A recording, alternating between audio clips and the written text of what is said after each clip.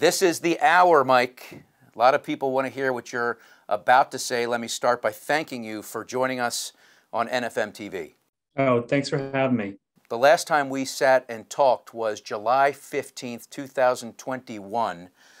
So, about 14, 15 months ago, we were in this debate inflation, transitory or here to stay. And it just so happens when we were talking at that exact moment, Chairman Powell was talking to Congress and pleading his case that it was transitory at the time, meaning it was not here to stay for the long haul.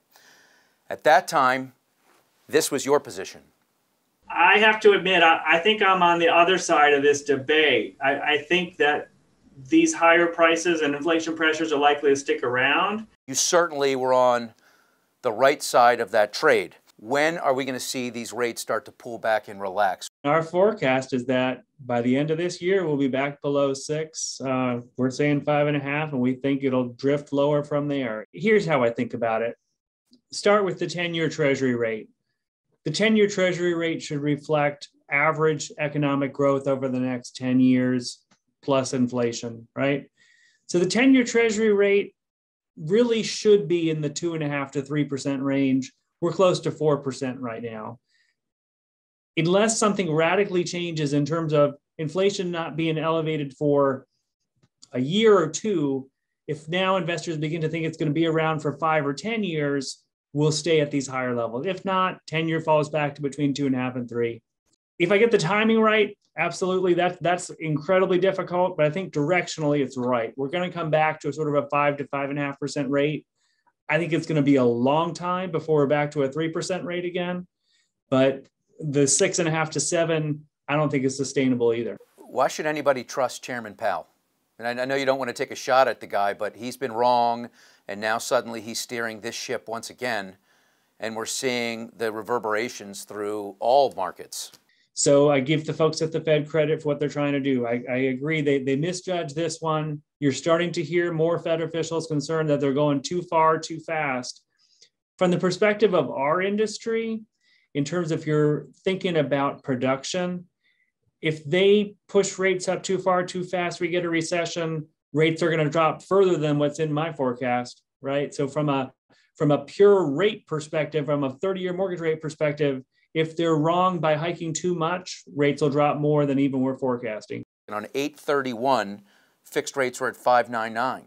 You fast forward to yesterday, you're approaching 7%. Did you even see that coming? I didn't. Again, it's the, the magnitude of the shocks.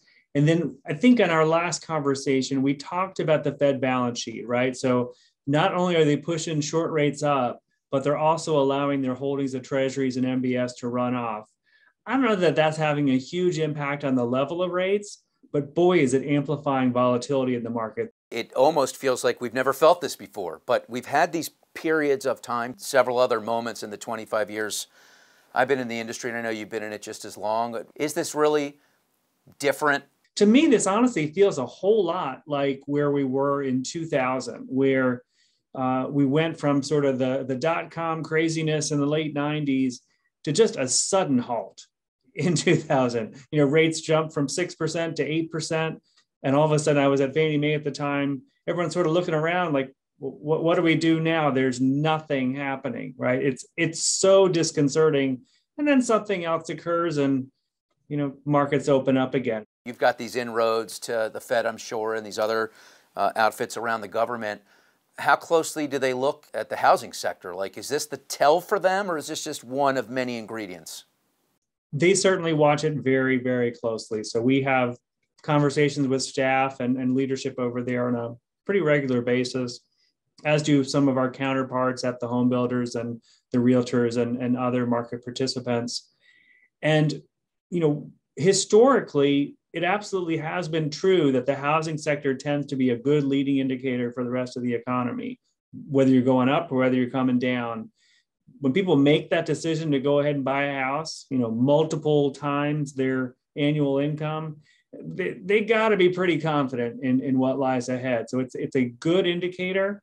And then when they get in that house, they tend to fill it up with furniture and appliances and everything that goes along with it. So lots of other sectors track housing pretty closely as a, a very, very efficient leading indicator of activity.